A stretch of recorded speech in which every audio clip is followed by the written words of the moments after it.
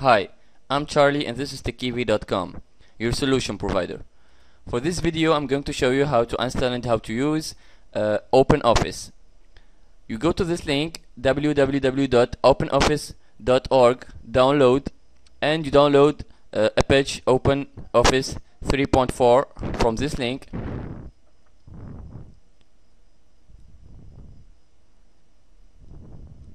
Here's the download page.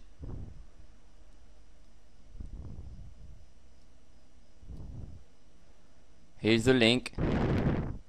After uh, you download uh, OpenOffice, you're going to have this icon here. You double click on it, execute it,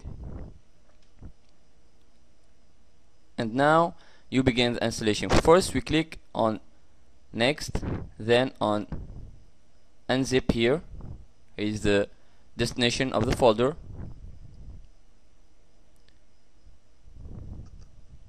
you wait for uh, OpenOffice to uh, uh, uh extract the files.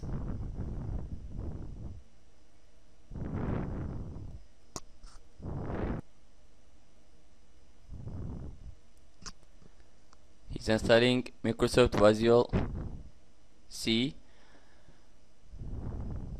Then you move to uh, uh, the installation here. You click on next. You choose here uh, uh, all users or only one unique user you click on next again then typical or uh, personalized uh, installation click on next again here you check this box to create a, a, a shortcut to your screen then you click next this is the uh, final step for uh, using OpenOffice.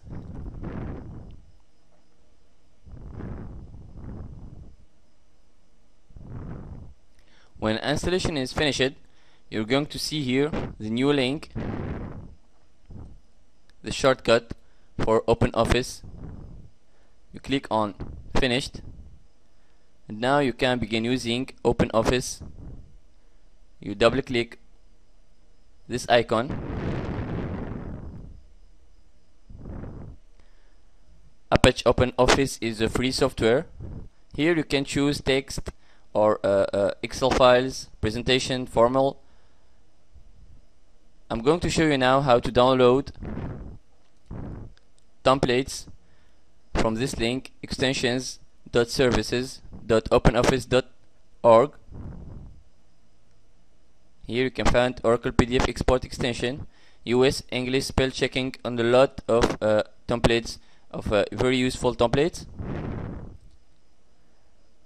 here you can choose text. It's actually uh, uh similar to uh, the Microsoft Word. It looks actually uh, exactly the same. You can do any options. They have all the options of Microsoft Word. Same thing for uh, same thing for the Excel files. The spreadsheet here as you see. And it's for free. It costs you nothing. I hope you enjoyed the video and visit techyv.com for more videos